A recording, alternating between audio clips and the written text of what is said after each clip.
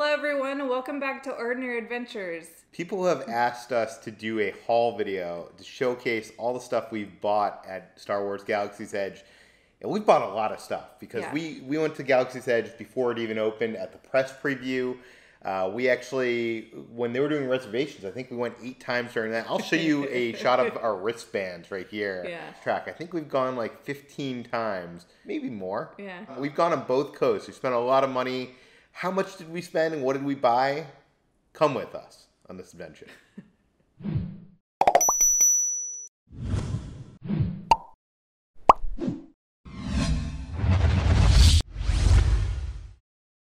The first thing that we bought at Galaxy's Edge, and honestly, the most important thing, is this Ewok. Just kidding. This is our dog Gizmo. You might recognize him from some other videos. We'll put his Instagram account on the screen here if you want to follow him. Yeah. Um, no, for, for real, the first thing we bought was this lightsaber. Uh, as you might recall, I made a lightsaber. It cost about $215 to build a lightsaber. I did the elemental lightsaber. This is probably the best thing I've ever bought in all of Disneyland. I have it hanging on my wall. It comes with a blade. It comes with a sheath, although I did upgrade the sheath for another $50. It's just so awesome. It's custom. It's something I created. It, it is a memory of one of my first visits to Batuu. I think that experience, even though it's like $215, it's unforgettable. I So, agree. One day I'll make one. yeah. Do you guys want to see her make one? Leave a comment below and tell us. That wasn't the only lightsaber that we purchased in. Oh, Galaxy's Edge. I, I went a little crazy. We purchased three legacy lightsabers. We have Darth Vader's, we have Luke's, and we have Rey's. And they come in these containers, which are kind of cool. Uh, you press this, it opens up and has like a nice little display case for the lightsaber. And this is Vader's. This is probably my favorite saber, and I think it's probably the most detailed. These sabers run anywhere from like 110 to almost $200. So it's cheaper than the build your sabers. You can put in the actual blade here and, and light it up. You can't change the kyber crystals. The one downside, it's whatever color it is. So obviously Vader's gonna be red, and you can't change that. The customizable lightsaber, you could change it. So these display things are kind of cool, and I was going to keep them. They are. I wish they were metal. They're plastic, uh, but I did find on Etsy there is this guy that sells these lightsaber hangers. So that lightsaber display is on this wall right here. Uh, and I, I'm gonna probably have to get more of these because they, you know, I'm gonna get more lightsabers. But I highly recommend this. I'll, I'll put a link to the guy that makes them. He 3D prints them. And look at this. Uh, it actually goes on right here, and it's pretty heavy duty. I gotta Yeah, repaint what that. yeah, there? yeah. I had to move it, okay. but um, but I highly recommend it. It's a cool way to display your lightsabers. Yes, I agree. Right next to this other gun thing that we have here. District Nine. I think this looks quite nice. And I'm sure we'll be adding at least like three more to our collection. One of the cool things about this version of the Legacy lightsaber for Luke is it actually has the screen accurate uh, top, which is actually not something you put a lightsaber uh, blade into, but underneath they actually have one that you can screw on so that it can actually light up with the blade. It's a little bit thicker. Usually you have to choose between do you want the screen accurate or do you want the one that can accommodate a blade. Here they give you both. I did adopt a creature. This is the one thing that I wanted, and I got it. Kowakian monkey was it? yeah, yeah, it's a tongue tie. His name is Salacious B. Crumb. I haven't uh, renamed him yet, but I have made an Instagram account for him. Uh, if you guys want to follow that, we'll put it on the screen here. But I do plan in the future to start bringing him more and uh, taking fun photos of him all around Disneyland and other places. And these are like the the Avatar Banshees where it comes with the controller. He can talk. He can move his head. Yeah. I love him so, so much. And we've just been like having him sat on our shelf. Yeah, And he honestly makes a great little display. yeah. If you don't want an elf on the shelf for Christmas, have a Salacious. There we go. Way better. It should be mentioned if you're going to build a lightsaber, if you're even going to buy a legacy lightsaber, you might want to wear it around Batuu. And if you want to do that, you're going to want to get yourself one of these little bad Oh, yeah. boys. This and this basically you put on a put on your belt, and it clips right in, and uh, you can actually walk around the land uh, with your lightsaber hanging. Seventeen ninety nine. Well worth it. You can get this little display stand It's twenty four ninety nine. It's not the easiest thing to use because it has these like little plastic things that hold up the lightsaber, and it's a little bit janky. This thing's heavy. It's Yeah. metal. Uh, you don't want to drop it for sure. Although I have dropped it, and it still works. So. yeah, you did drop it. I forgot about that. Yeah. that was traumatizing. when you're in Batuu, you want to go to Oga's. You want to get yourself a drink, we oh, got Yeah. some drinks. By the way, we're gonna put links throughout this video of like our times in Galaxy. We've done so many videos, and one of the times is we went drinking. But we got these awesome collectible mugs, and this one was called the Yub Nub. Yeah, that comes with an alcoholic drink. Although, pro tip, you can get any drink in any one of these mugs. Even if you get the Rancor too, so you can. If you don't like beer like me, you could get like cider. You can get. Oh, I actually didn't know that. Yes. And that's forty-two dollars for the Yub Nub, and thirty-two dollars for the Cliff Dweller. One of the reasons why we got these, besides that they're awesome collectibles, is that they're also first edition. So they have this one, the Porg mug has slightly changed since we got it. It's a little bit smaller now. So I think it's really fun that we have the original first edition Porg mug that you're never gonna see again. Yeah. If you're in the marketplace, you'll see a woodworker, and he's carving a porg out of a piece of wood. And that's actually what this is right here. This is a Yeah. reproduction of that. So, in story, in the world of Galaxy's Edge, that woodworker is creating the mugs that you buy in Oga's. This is the Battle of Endor Yeah. on on this mug. I'm wondering if we're gonna get other m- like tiki glasses to celebrate other famous battles in the Star Wars universe. Oh my goodness, that's Yeah. gonna be fun to collect. One of the popular items in Batuu is the blue and green milk. And in case you didn't know, you could get it in this souvenir cup.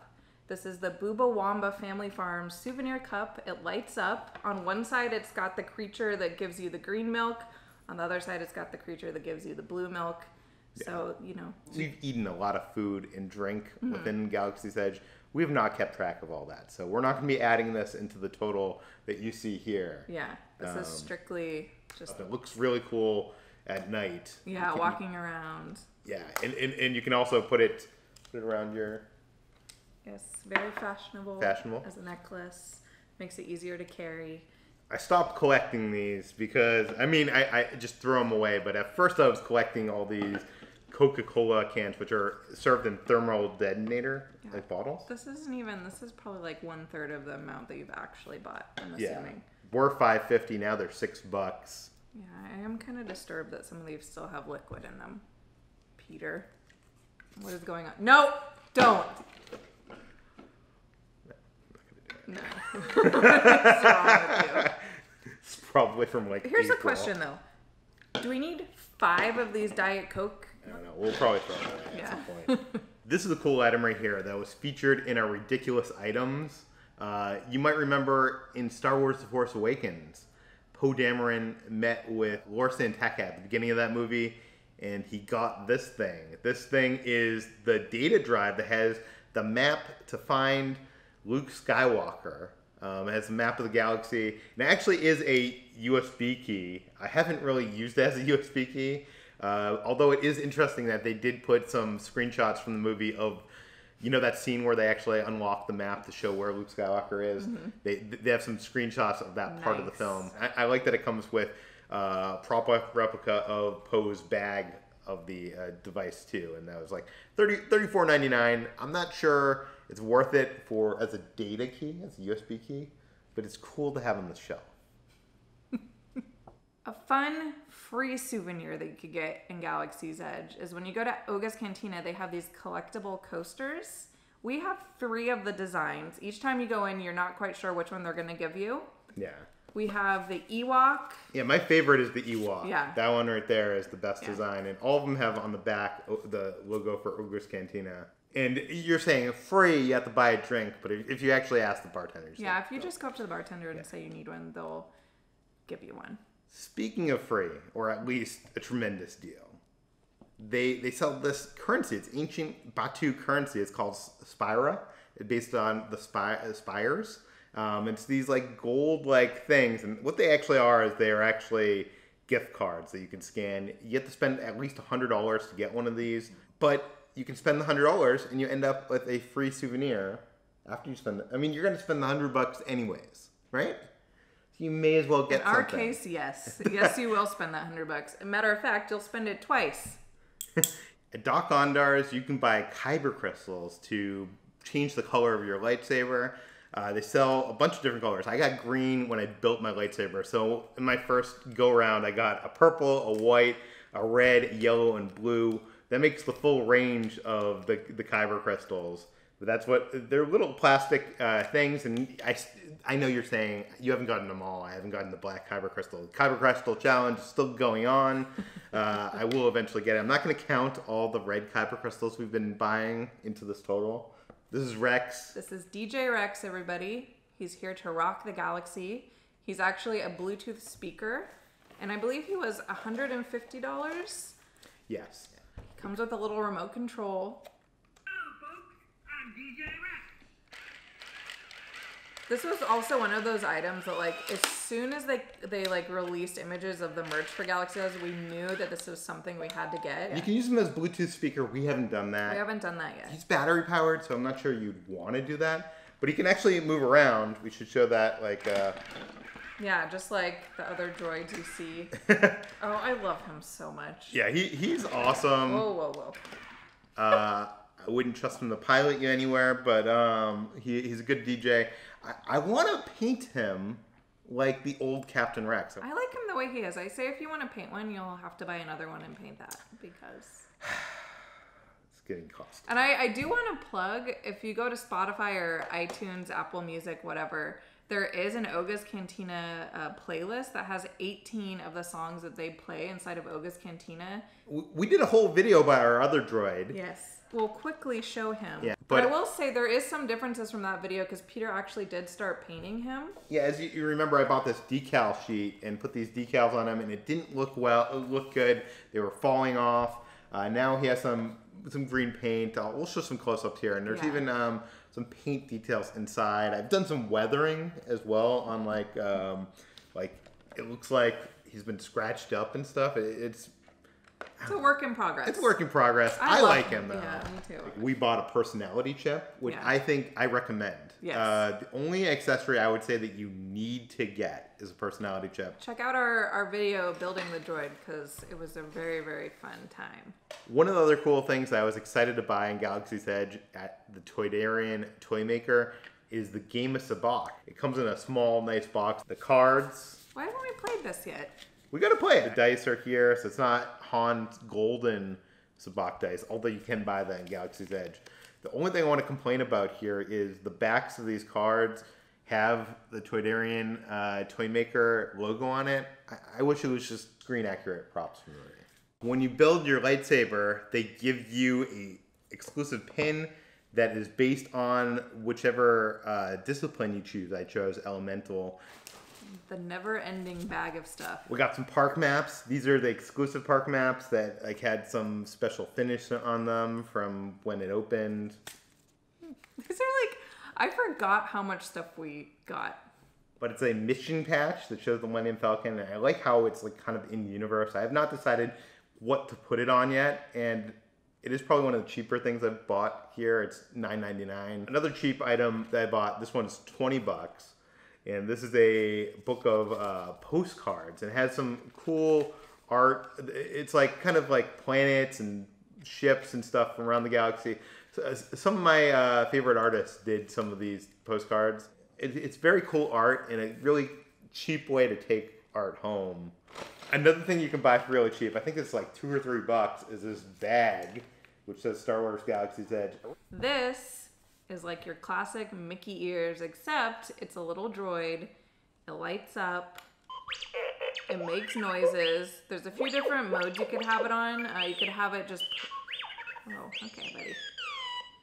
You could have it where it just lights up, or you could have it where it talks, or you could just turn it off. So uh, I love it. I think it's really adorable. They also have a BB-8 one. It's so good. Speaking of R2, one of the first things I ended up buying in the land is this bowl. It's a stainless steel bowl. I think it was like It was expensive. 70 bucks, It- but it is uh, really heavy duty. This is like like really heavy. Yeah. uh, durable, and I'm gonna use it. I don't know. We're gonna put like, I guess we we're on a diet, so we don't put candy around, but we're gonna put it to put something in there. We could have put our Halloween we candy have put in our there. Halloween candy from the Oogie Boogie Bash. Um, I wasn't sold on it at first because it is very, very expensive, but I definitely think it was worth it. This was twenty six dollars, and it is a ornament. Yeah, it's a little Batuu ornament. It has the falcon. It has looks like Oga's Cantina. Has the black spire. I don't think they celebrate Christmas in Batuu, but I'm glad that they make something for us off planet Yeah, that they're do gonna have stuff for us tourists to buy when we're there. I, I want. I mentioned before that the lightsabers, when you get, build a lightsaber in uh, Savi's workshop, they do give you a sheath that you can carry it around with. Uh, I kept them bringing the lightsaber back to Batuu to get like those lightsaber at night shots and stuff like that, and it quickly was getting destroyed. They sell this other one that has like all these pockets and stuff. It has a, an Aurebesh. It, ha it I think it says like Force wielder or something. So I guess if you're you know someone who uses the Force, you wouldn't want to be seen Uh, yeah, this why do you want to be whatever. walking around Batuu with that? Like, if the stormtroopers see you, they're obviously gonna know that something's fishy is going on. Yeah, but I like how it has this like fake leather detail and stuff like that. It's it, it's heavy duty, and I brought it back to the park a couple times. You know, I, I do want to show some stuff that we bought off world. Um, There's more. there's some through unofficial back. Uh, Yeah, back alley dealers. yeah, back alley dealings. We got these name tags. These are the name tags that they have in in Galaxy in Batuu. It's a little bit different, but Yeah, it's kinda- like the cast member name tags that you Yeah. see all the Disneyland employees wearing. I have not added up this total. How much do you think? Oh my gosh. Okay. Yeah, we haven't.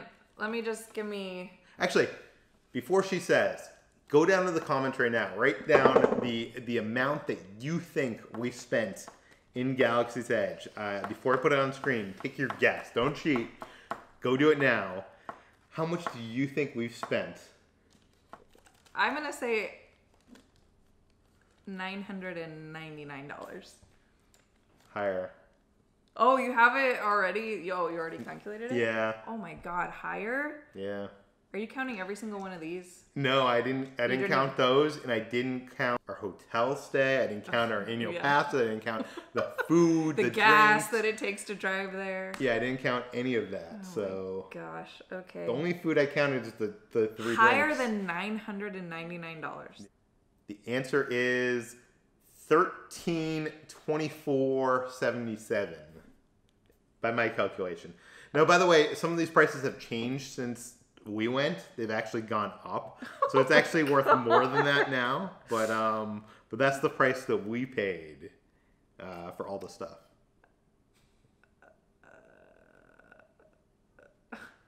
We had a fun time. we have all this cool stuff. We do. That's that's a lot. What, what was that? Oh, the video's over.